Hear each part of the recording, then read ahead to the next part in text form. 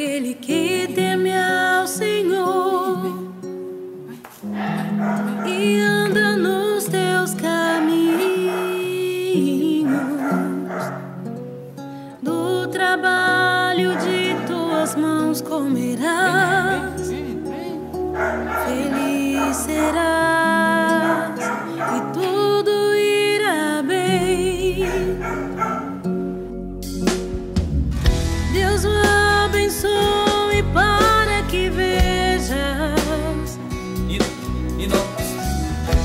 prosperidade deste povo durante os dias de sua vida. Veja os filhos de seus filhos, a Israel.